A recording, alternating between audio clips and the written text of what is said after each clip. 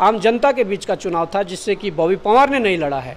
खुद आम जनता ने इस चुनाव को लड़ा है और मुझे लगता है कि जब जब जनता ने चुनाव लड़े हैं, जब जब जनता ने एकजुटता दिखाई है तो तो जनता की जीत ही हुई है।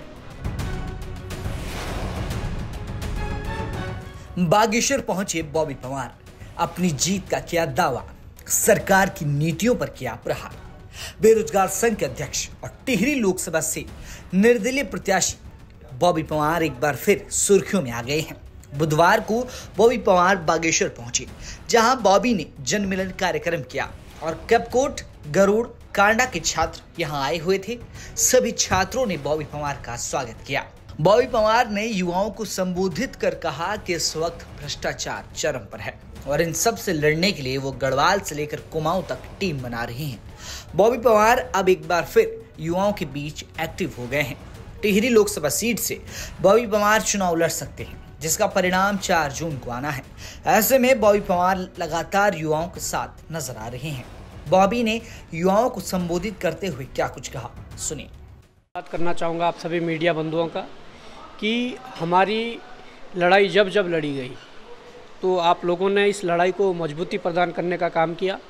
आज इस बागेश्वर की धरती पर, भगवान बागनाथ के इस पावन धरती पर आज अगर यहाँ पर जन संवाद कार्यक्रम हुआ है तो निश्चित रूप से हमारी चिंता है कि इस प्रदेश को बेहतर बनाने के लिए, इस प्रदेश में किस प्रकार से रोज़गार को बढ़ाया जाए, इस प्रदेश में जो बहुत बड़ी मात्रा में भ्रष्टाचार चरम पर है, उस भ्रष्टाचार पर कैसे प्रहार किया जाए, कैसे अपने लोगों को संगठित किया जाए, कैसे जो इस प्रदेश के भीतर हमारे अधिकारियों और नेताओं के द्वारा जो नीतियाँ हैं, जो भ्रष्टाचार भ्रष्टाचार को बढ़ाने के लिए बनाई जा रही है, जो भ्रष्टाचारियों को बचाने के लिए बनाई जा रही है, जो रोज़गार अपनों को देने के बजाय कि अन्य राज्यों के लोगों को रोज़गार देने के लिए बनाई जा रही है, आज उन नीतियों की लड़ाई है। और ये नीतियों की लड़ाई के लिए हम पूरे प्रदेश भ्रमण पर निकले हैं, क्योंकि हम लोगों ने जो लड़ाई शुरू की है, वो लड़ाई किसी एक व्यक्ति की नहीं है, वो लड़ाई समूचे प्रदेश के युवाओं की है, समूचे प्रदेश के अभिभावकों की है,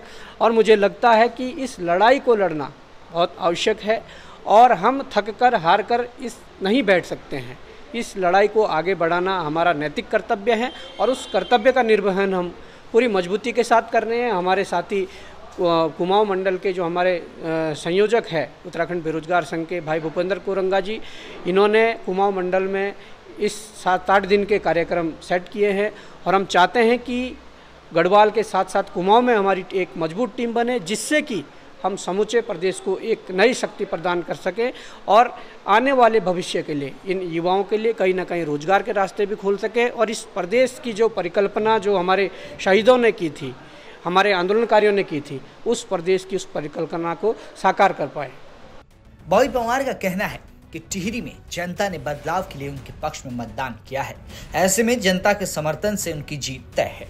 चार जून को नतीजे आने हैं। और देखना होगा कि बॉबी इस चुनाव में क्या उलटफेर करने में कामयाब होते हैं। बागेश्वर से जगदीश पांडे के साथ ब्यूरो रिपोर्ट, उत्तराखंड तक।